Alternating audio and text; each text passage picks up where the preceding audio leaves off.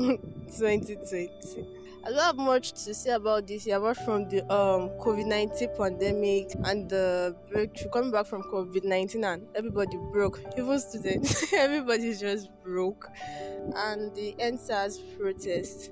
Well, a lot of shit happened this year, right? So I don't know which one to lay emphasis on. So let's just say the COVID 19 pandemic and um, the EndSARS process.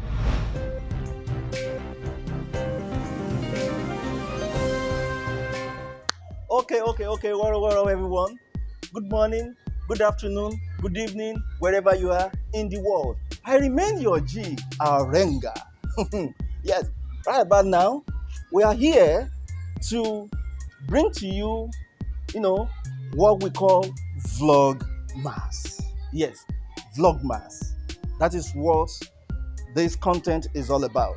Yeah, we have uh, subscribers across the world, and we've sent to them different uh, messages, questions to you know uh, respond to which they, they have responded, and you'll be seeing from time to time some of you know uh, Renga TV subscribers that have you know responded to uh, uh, questions. So today I have one of them here.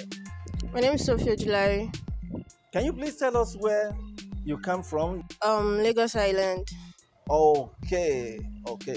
So please, what exactly do you do for a living? My occupation, I'm a student. Okay, okay. So tell us your opinion about the year 2020. 2020. Well, I don't have much to say about this year apart from the um COVID 19 pandemic and the breakthrough coming back from COVID 19 and everybody broke, even students, everybody just broke. That's just it. We're all broke, and the economy of the country at the moment is not very friendly. Let me just put it that way. So that's it. And the EndSARS protest.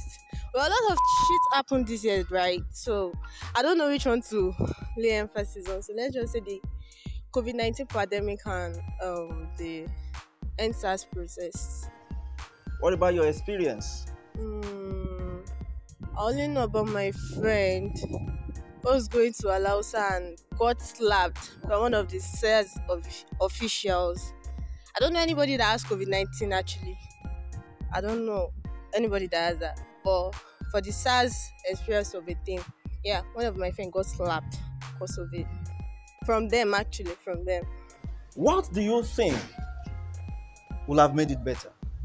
Well, for one, mm, I should be preparing to leave this current class I'm in right now. Even if I've not left, or should be preparing to. That's one. Well, this year, uh, spells a lot of things, lot of plans, right? But it's all good. What are your wishes for the year 2021?